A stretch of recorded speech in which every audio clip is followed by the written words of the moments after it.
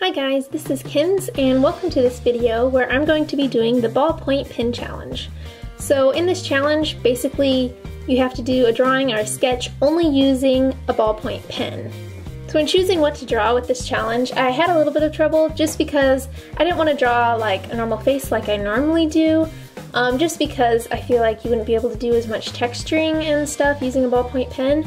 So I decided on drawing a husky slash like wolf because I really like huskies and I think they're really cute and I thought it would be a lot of fun um, just doing like the fur and all that with a ballpoint pen. Obviously at first this was pretty challenging just because I wasn't able to sketch out what I was going to draw and so I think that was probably the most difficult thing about this drawing. Plus, I'm not really used to drawing that many like animals and stuff like that. Like I said before, mostly what I draw is just like portraits and people and stuff like that. But it ended up being okay, and I'm actually pretty happy with how this turned out.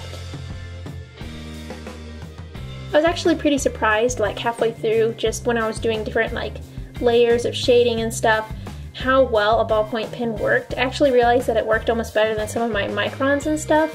Um, just as far as like shading because I was able to do like really light shading and then really dark shading that I normally wouldn't be able to do with like a micron. Obviously if you're wanting like the just a nice line, microns work better, but if you're wanting to shade with a pen, then ballpoint pen worked out really great.